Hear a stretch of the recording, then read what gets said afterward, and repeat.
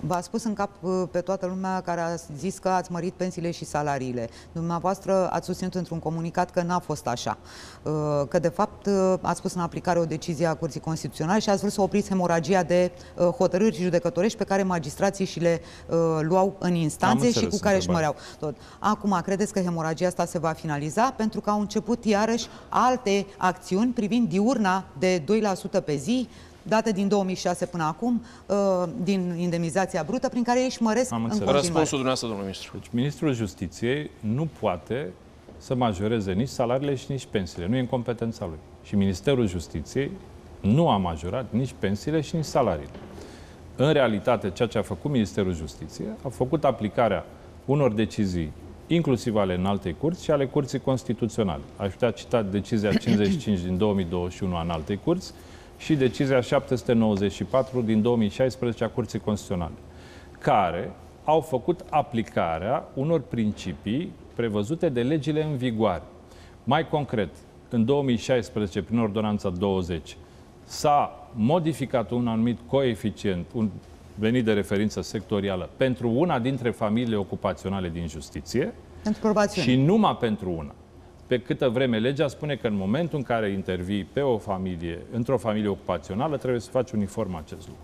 Asta a deschis valul de procese care nu pot fi oprite, cum spunea doamna Angelus, decât printr-o viitoare lege. Până la viitoarea lege însă, Ministerul Justiției, ca orice minister, nu poate ignora hotărâri judecătorești definitive. Unora le scad salariile. Nu aici unora le nu scad niciun fel de îndoială. Ca dovadă unora că unora le mai și scad salariile Și ce faceți cu ea care se duc deci, în instanță pentru că le scad salariile? vreau să spun și altceva. Nici hotărârile în sine n-au majorat salariile, ci pur și simplu au făcut o corectă corelare a unei legislații prost gândite, prost Eu am făcute. înțeles perfect și nu mai da? e nevoie de niciun fel de lămurire. E hotărâre definitivă, mai ales Ministerul Justiției, nu are cum să ignore așa ceva. Și faptul că noi am procedat în acest fel va face economii Ministerului Justiției. Eu vă este, spun, bugetul... Este o dezbatere foarte amplă în sistemul da. de justiție din România în legătură cu prevalența dreptului european asupra dreptului național și chestiunea a ajuns inclusiv la Curtea Constituțională.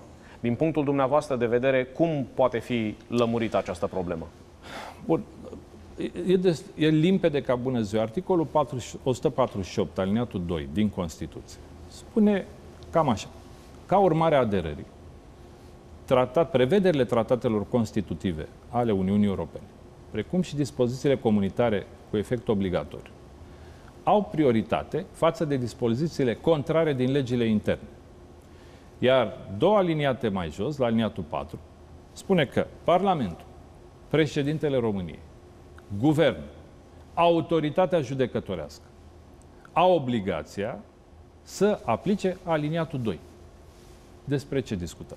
E adevărat. Des, despre Constituție, domnul ministru, despre Bun. Constituție discutăm. Dacă Mai avem Constituție sau nu? O desfințăm? Este o retorică pe care eu aș dori să o aduce mai aproape de tehnicalitate. Chiar Constituția spune Pentru că asta. veți vedea că dacă citiți decizia Curții Constituționale, da. este mai nuanțată decât se comentează în spațiu public. După Bun, cum, și care e mesajul veți, dumneavoastră? Că sunt atâția magistrați care se uită acum și deciziile se întreabă. Curții de Justiție a Uniunii Europene, veți vedea că sunt mai nuanțate decât se discută în spațiu public. Și la ora asta, pe rolul Curții de Justiție a Uniunii Europene, este o cauză care va tranșa această armonizare dintre decizia CJUE din 18 iunie anul trecut cu decizia Curții Constituționale din România 390.